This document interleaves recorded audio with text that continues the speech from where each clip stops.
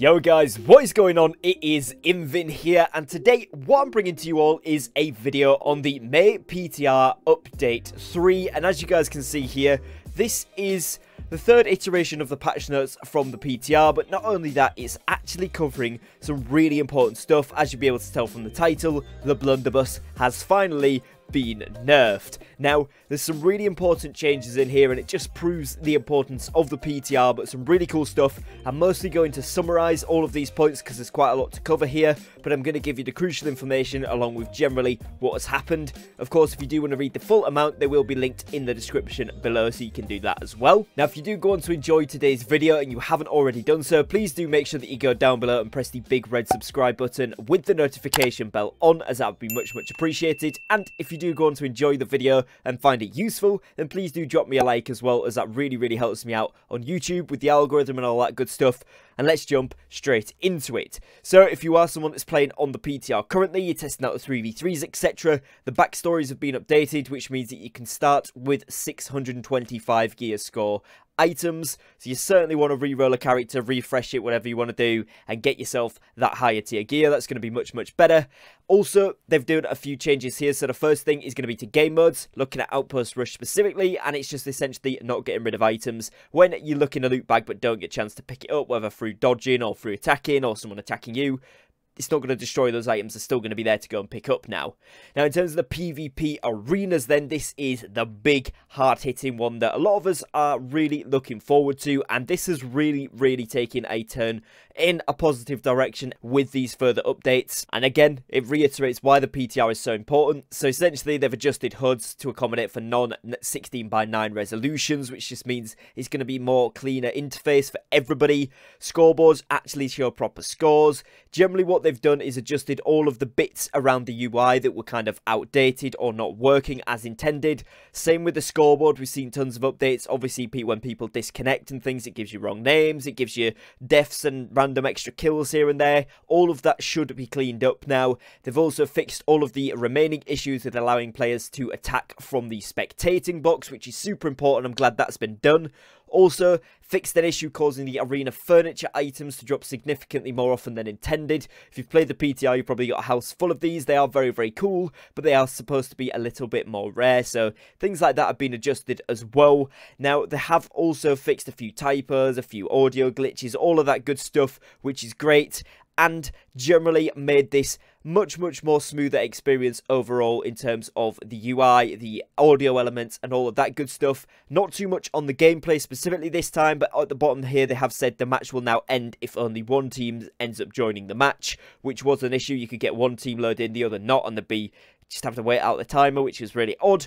Uh, but that's been fixed, and also now fixed the issue that allowed more than groups of three people to queue for the arena game mode. You were getting groups of four and five getting in for some reason. Um, it wasn't working out too well for them, but they were able to get in there, so that's now been fixed. Now, quick fix to wars where they basically fixed a bug with the fort turrets where they were unable to be placed or replaced. Now they can be replaced. Now, in terms of mechanics here, dodging, they have done some big changes too, and this is really, really important. So, what they've done here is fixed an issue where the stamina regen delay was lasting longer than intended in certain circumstances. Now, this is really important because a lot of people have been complaining about the way that stamina has changed, and a lot of people have been really unhappy with how it's working. But this is what they've done essentially. So it says, currently your stamina regeneration is delayed by one second wherever stamina is consumed.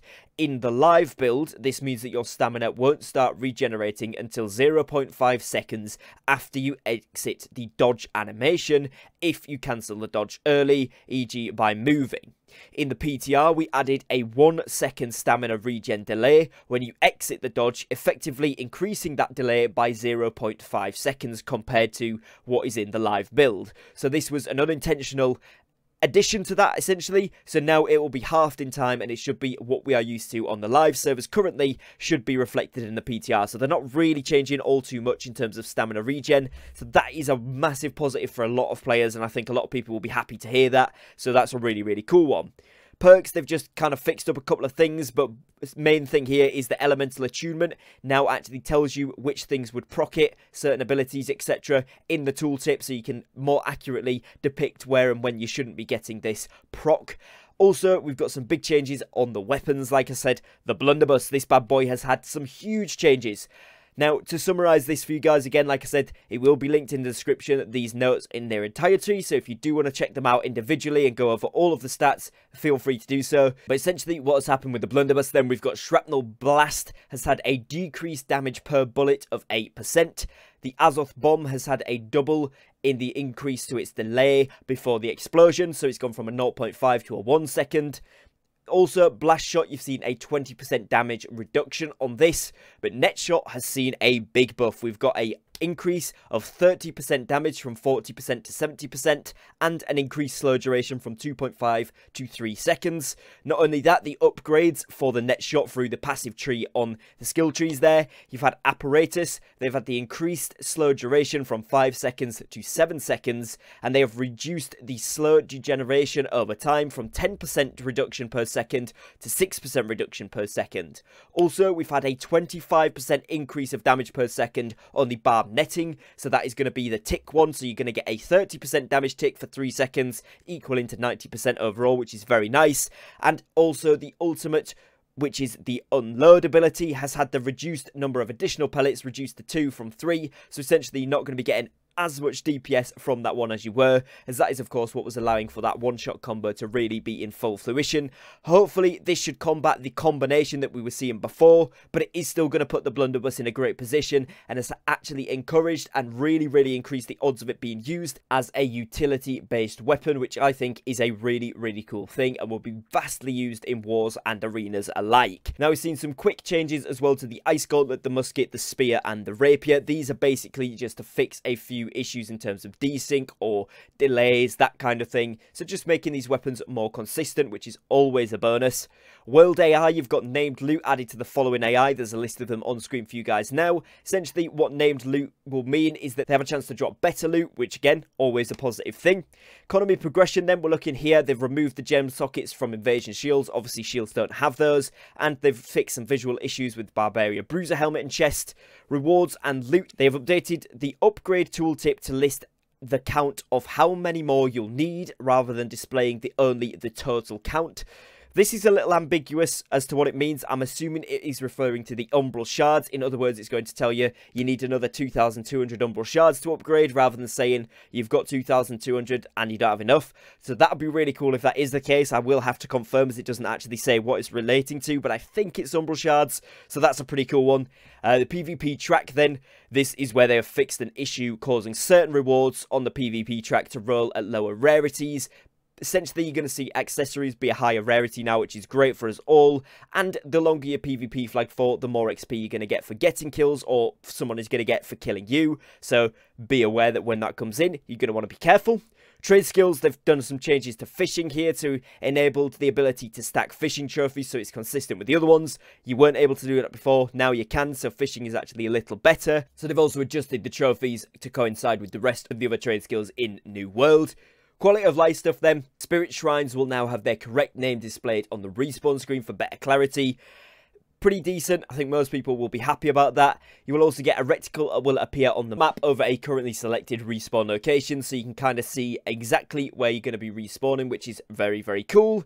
They've also done some notable fixes in terms of world experience, where they've fixed an issue with the heavy use of effect abilities, e.g. in a war, could cause the foliage to screen flicker, which is really annoying. If you've played the wars, you know how much this can happen.